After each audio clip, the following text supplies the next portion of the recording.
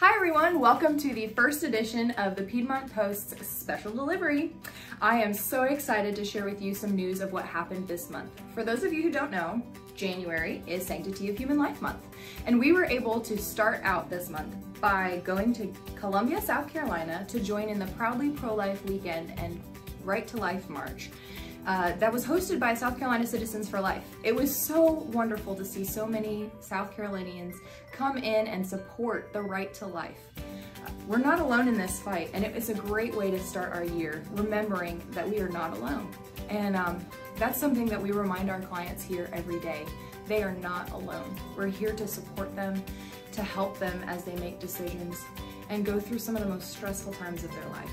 We had one client who came in, she was 16 years old, and she had no support, and she was determined to have an abortion. And she came into this room, saw that heartbeat on the monitor, and realized she could not end the precious life that she was carrying. And so we talked her through our support services and she realized that she's not alone. And because of that, she decided to parent her child. And that happens on a daily basis here. We saw at one of the churches that we visited for Sanctity of Human Life Month, we saw a mom come forward and tell us, hey, I was a client back in 1993, and this is my daughter that you helped me have.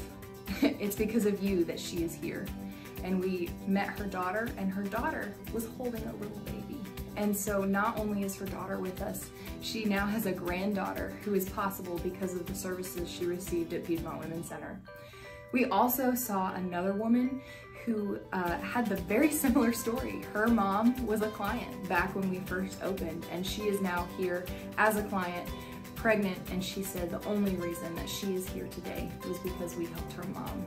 We get to hear stories like this every day and it is a privilege to serve the women that we do. And I am so excited to be able to share their stories with you and have you support us as we support them.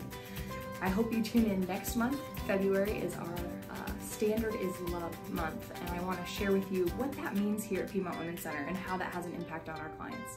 So tune in next month, and I look forward to seeing you then.